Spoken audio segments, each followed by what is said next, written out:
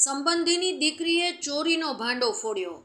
સુરતના ઓલપાડમાં પિયરમાં લગ્ન પ્રસંગે આવેલી નણંદનો દોઢ લાખનો સોનાનો હાર ભાભીએ ચોરી લીધો, વેચવા જતા સીસીટીવીમાં કેદ.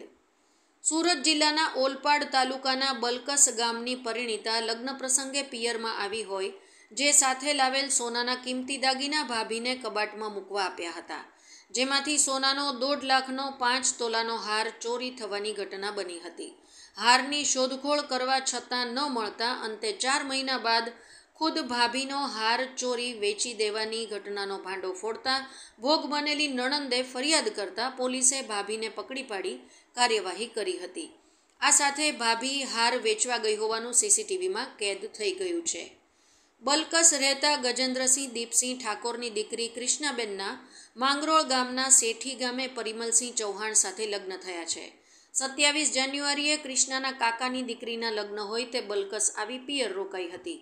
કૃષ્ણાબેનને લગ્ન પર માતાએ કન્યાદાનમાં આપેલ પાંચ તોલાનો સોનાનો સેટ પહેરવા સાથે લઈને આવી હતી.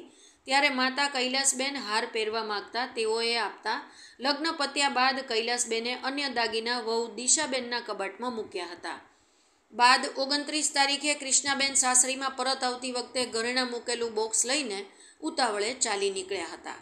સાંજે ઘેર પહોંચી કૃષ્ણાબેનની સાસુ હંસાબેન બેગ ખોલીને જોતા સોનાનો હાર મળેલ નહીં, જેથી તે બાબતે પિયર પક્ષે ફોન કરીને જાણ કરવા સાથે સંબંધીને પૂછવા સાથે ઘરમાં શોધખોળ કરવા છતાં હાર મળેલ નહીં. ત્યારબાદ સાત એપ્રિલે કૃષ્ણાબેનના ભાઈ પ્રતિકસિંહને ફોઈ સાસુની છોકરી ભાવનાબેન કીર્તિસિંહ રાજ ફોન કરી જણાવેલ કે તમારા ઘરેથી ચોરી થયેલ હાર તમારા પત્ની દિશાએ કલા મંદિર જ્વેલર્સમાં વેચી દીધો છે.